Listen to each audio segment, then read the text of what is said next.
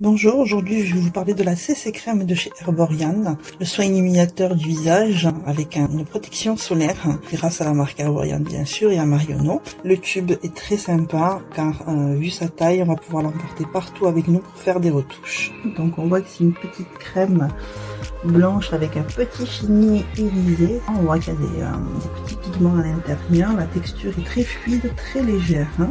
Vous voyez, ici on peut voir déjà un petit peu voir comment ça peut avoir. C'est efficace. Hein. Maintenant on va l'appliquer sur le visage. Voilà, moi je chauffe bien mes mains parce que c'est important, surtout quand on applique du produit avec du pigment. Toujours de l'intérieur vers l'extérieur, on étire.